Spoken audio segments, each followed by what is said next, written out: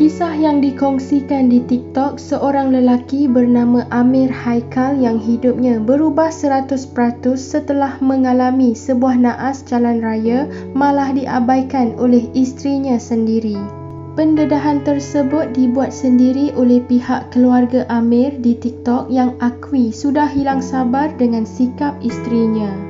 Bukan sahaja mengabaikan tanggungjawab, malah pihak keluarga mendakwa si isteri cuba mengambil duit pampasan insurans yang seharusnya digunakan untuk kebajikan Amir.